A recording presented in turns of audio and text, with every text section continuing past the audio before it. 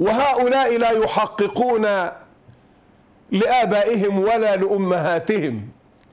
ما يتمنون أو ما يتمناه كل والد أو ما تتمناه كل أم. هذه الأم المسكينة المجهدة المرهقة ليلا ونهارا من أجل أبنائها. والله أعلم بحالها وما تعانيه من الإرهاق والأمراض ومع كل ذلك حريصة أن تكون في خدمة هؤلاء من أبنائها وبناتها. وأحدهم أحدهم لا يصلي لا يصلي. حق لها أن تبكي كما بكت وهي تتحدث إلي في الهاتف. حق لها أن تبكي لأن مجرما يعيش معهم في الدار لأن شيطانا يعيش معهم في الدار.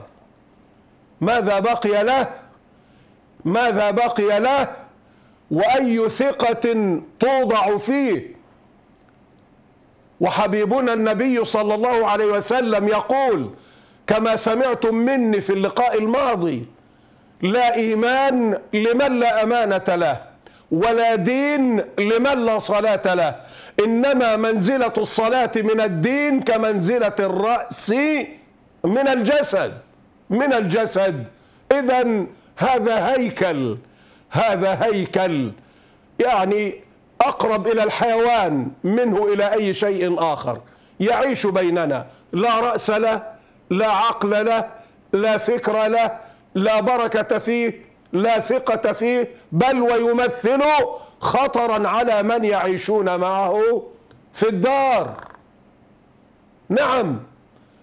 وأمثال هذا المجرم هم الذين يقتلون إخوانهم وأخواتهم على النحو الذي تستمعون إليه وربما شاهدتموهم وهم يعترفون. بأن أحدهم تجرأ وأمسك بالسكين وقتل أخاه. قتله لماذا؟ لأنه لا صلة له بالله.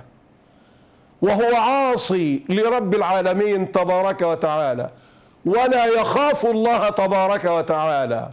فسولت له أو فطوعت له نفسه قتل أخيه فقتله فأصبح من الخاسرين لأنه كما قال هابيل كما قال هابيل لئن بسطت إلي يدك لتقتلني ما أنا بباسط يدي إليك لأقتلك.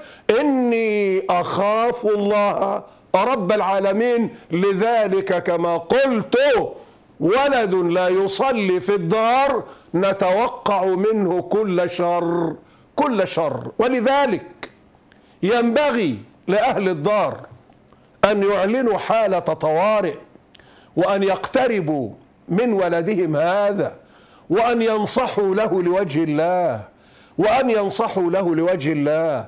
أنا لا أقول اطردوه ولا أقول قاطعوه برغم أن العلماء يقولون في هذه الحالة يقاطع.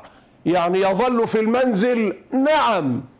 ويأكل ويشرب في المنزل نعم. وإن كان بعضهم يرى غير ذلك يرى والله يرون غير ذلك لكني أقول أجلسوه بينكم وانصحوا له لوجه الله تبارك وتعالى انصحوا له لوجه الله وشجعوه شجعوه منذ نعومة أظفاره وقدموا له قدموا له من المكافآت ما تستطيعون. وإن أتم الصلوات الخمس في يوم من الأيام لا مانع أن تكافئوه بأي مكافأة تروق له مما يشتهي ومما يريد. نعم. والأهم من هذا وذاك أقول وكما قلت للسيدة التي كانت تبكي وهذا سر بكائها أقول له قلت لها هل يصلي أبوه؟ قالت بكل أسف أبوه ليس من المصلين. ليس من المصلين.